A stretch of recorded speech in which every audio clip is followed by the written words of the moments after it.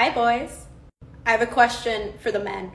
What the f- do you want? Let your soul gravitate to the love, y'all, y'all. Killing people dying, children hurt, and you hear them crying.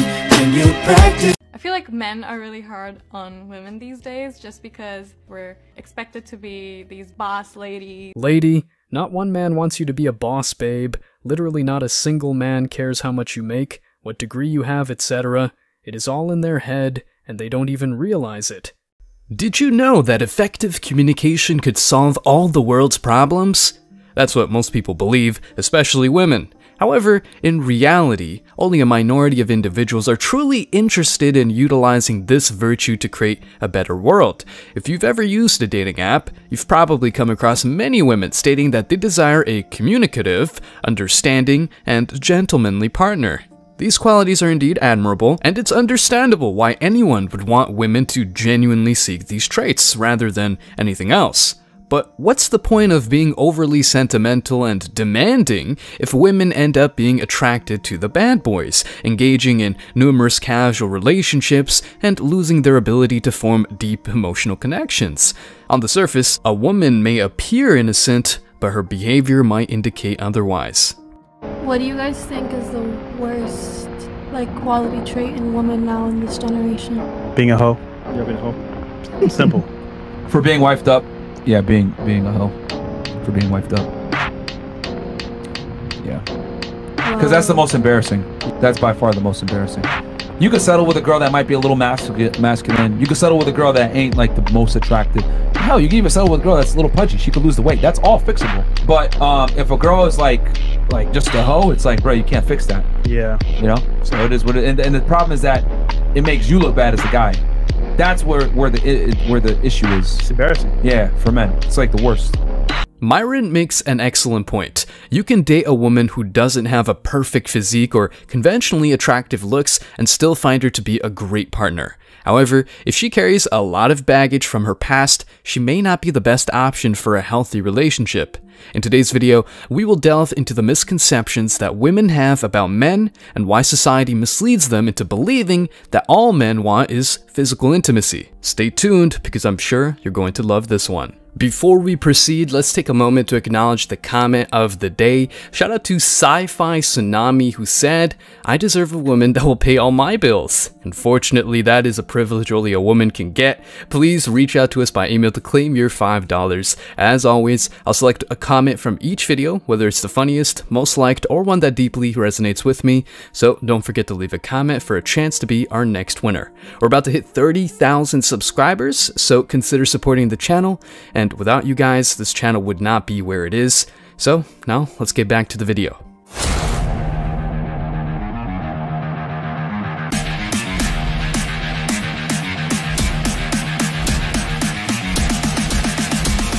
Embrace your masculinity.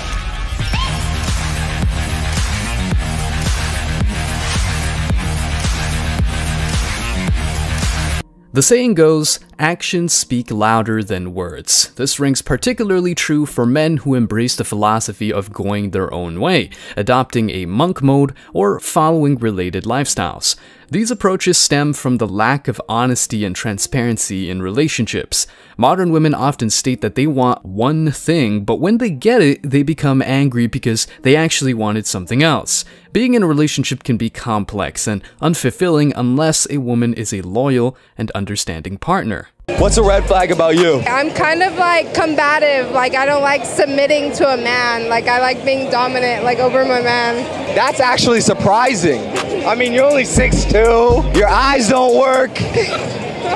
In reality, women are increasingly being misled by society. Various forms of media, including the entertainment industry, along with other influential figures, suggest that traditional gender roles such as cooking, cleaning, raising a family, and being attentive to a partner's needs are oppressive and dishonorable to the so-called sisterhood, if such a concept even exists.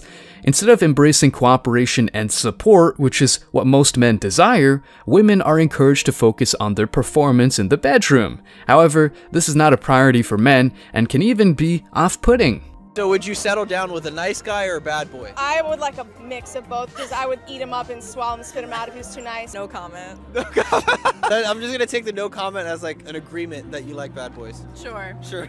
I like girls. Because we think we can fix them. Literally. I, I like a good project, a little DIY. A little DIY action? Yeah. So why don't you like nice guys? You can kind of take advantage of them a little bit, you know what I mean? And I don't like doing that. Because they break their hearts and girls like the adrenaline rush. I don't like bad boys. They're fuck boys and fuck bad boys. What kind of so what?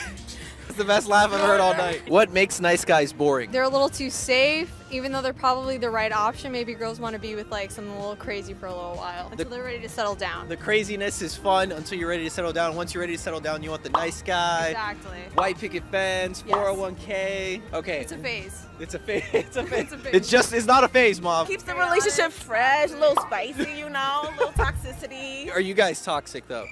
The common life cycle of modern women is sleeping around with a bunch of men, ghosting some of them, and getting ghosted by some bad boys. And once the biological clock starts ticking, all they want is marrying a walking ATM, I mean, nice guy.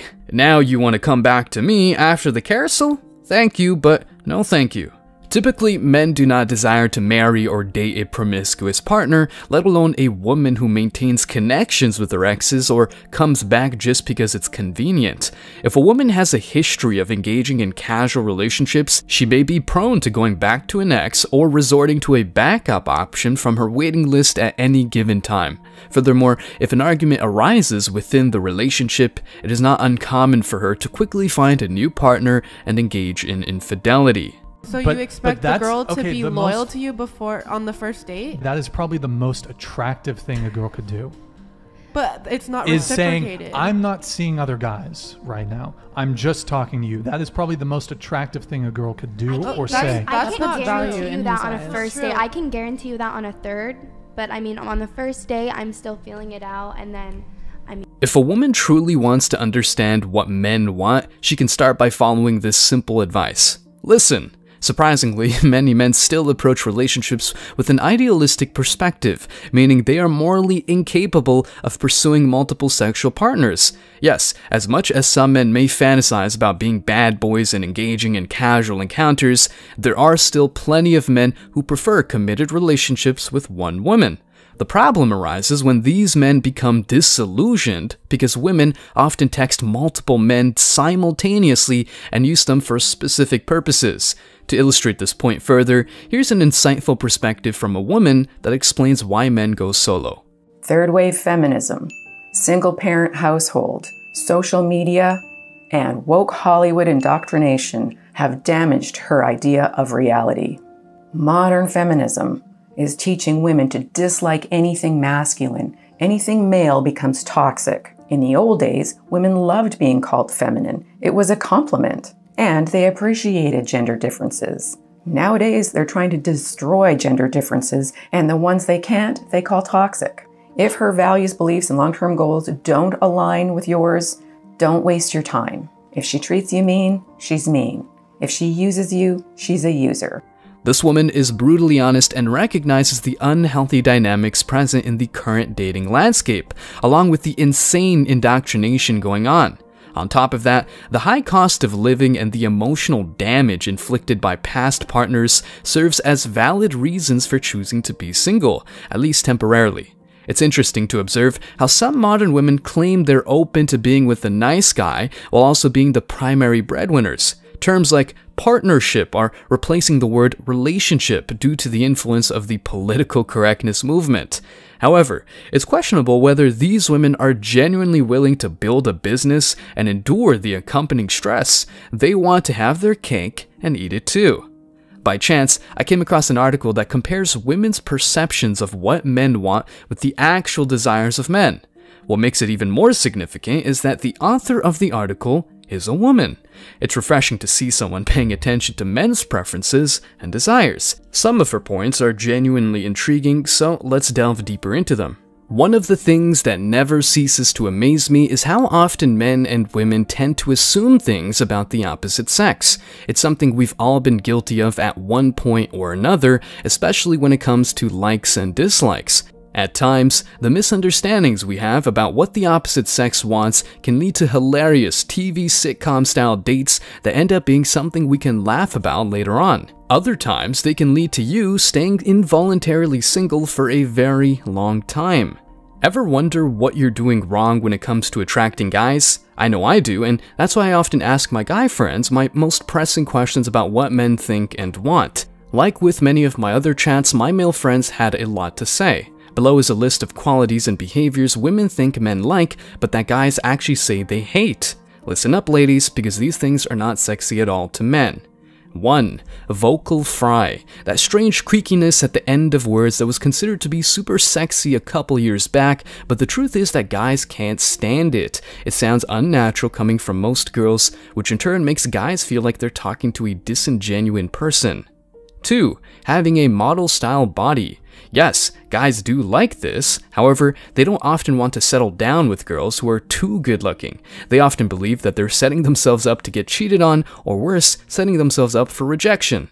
The end effect is that they might be okay with a fling with a girl who's way better looking than they are, but not with a relationship. As hard as it is to believe, this has actually been backed by science and statistics.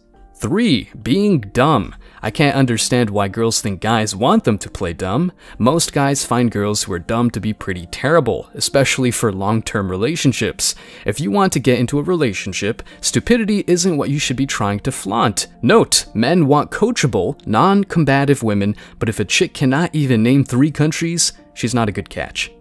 What would you do if I couldn't cook? You'd be single. Can you cook? That's irrelevant. No. Can you cook though? I mean, can you fight? Let's exactly. Let's ask pointless questions. How is it a pointless question? I'm trying to get to know you. Because that's your job. What's my job? To make sandwiches. Did he actually just say my job is to make sandwiches? How am I going to fight off the intruders if you don't make sandwiches? I need sustenance. You're a dick. Despite his tendency to go on rants, he is correct in his assertions. Men who have certain preferences when it comes to choosing a partner are often labeled as misogynistic, while women who create lengthy lists of requirements similar to job postings are seen as having standards. This double standard is frustrating. Let's continue exploring the points made in the article. 4. Having childlike tantrums. I have personally seen women who claim that literally stomping your feet and pouting would make men melt. No, this doesn't really work at all. The girls I've seen who believe this are still single. Shocking, I know. 5. Overly plumped lips. There's this weird trend where girls are getting crazy large quantities of lip injections to give them a Kylie Jenner pout. Of all the things women think men like but actually hate, this one takes the cake. This isn't as attractive to men as girls believe it to be, it often ends up looking fake and causes women to get perma duck face. 6. Being purposefully trashy. A lot of girls think that being trashy and sleazy will get men to be interested. This is true, assuming that you're looking for hookups. This is because it makes you seem way more open to sex. However, most guys will cite trashy clothing and behavior as a major turnoff when they are trying to find a wife. 7. The damsel in distress ploy. It may have worked for the Disney princesses, but in reality, most men can't stand seeing a girl who can't take care of herself. Having to take care of another adult is exhausting, and it makes you lose respect for them quickly. The only men who do go for girls who pull this are not men who are capable of a healthy relationship, so don't do it. Women often assume that men want someone who matches their idea of a perfect woman, however, Men simply want a woman to be herself. Most men aren't looking for a woman to rescue them from financial problems or fulfill specific criteria. Men who are genuinely seeking a partner desire authenticity, loyalty, obedience, and basic qualities. They understand that women are not flawless, and they do not expect them to possess exceptional sexual skills. Instead, they prioritize finding a woman with integrity, someone who won't betray their trust or cheat on them. Your friend was your man. They used to date first, and then I went out with him, and then he cheated on me with her. What do you expect oh, though? That should be Yeah, normal. That's the up. No, it's not. You That's did it to likely, her baby. first. That's very That's likely. ex. She got hit first. I mean, So basically, she broke up with him, and then he had sex with her on their break or something like that. no, friend? no, because of the past, he fucked her again. And they dated like a while ago before I started dating him. So did he hide it from you, or just like you found out randomly? I found out randomly. To keep this video concise, let's touch on one more point. Women often believe that men want a girl they can rescue, but in reality, men desire a strong woman who can take care of herself. This might seem confusing, so pay attention. The author of the article mentions, What's frustrating about old fairy tales and Disney movies is the portrayal of a damsel in distress who constantly needs saving. Some girls grew up believing this is how they should behave in relation to men. While most men enjoy being protective and taking care of their partners, they also want their partners to be independent and capable of looking after themselves. Men do not wish to be constantly worried or fussing over their partners, as it can lead to an unhealthy and dependent relationship.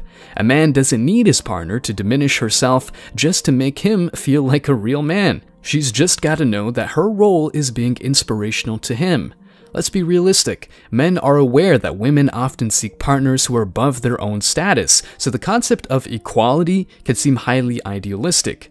However, men genuinely don't want to be consumed by constant worry about their partners. That's why confident men may set boundaries that prevent their partners from going to clubs, taking girls' trips, or having girls' nights out. Moreover, many men have already experienced the consequences of playing the role of Prince Charming or Captain Save-A-Ho. In conclusion, both genders are being influenced and brainwashed by society, leading to dysfunctional relationships. In truth, things should be much simpler, and men do not ask for much beyond the three F's respect, loyalty, and other fundamental qualities. Intimacy, although often portrayed as the ultimate goal, is actually secondary. It's important not to succumb to the decay of moral values encouraged by society. So, stay strong, guys. As always, I wish you tremendous success. Now it's your turn. What are your thoughts? What other misconceptions do women have about men's desires? Do women genuinely want to understand what men want? Let me know your thoughts in the comment section below. Remember that if you leave the best comment, you might win $5. Thank you for watching. If you found this video valuable, don't forget to like and subscribe, hit the notification bell to stay updated on future uploads, leave a comment, and share it with others. See you in the next video, guys. Until next time.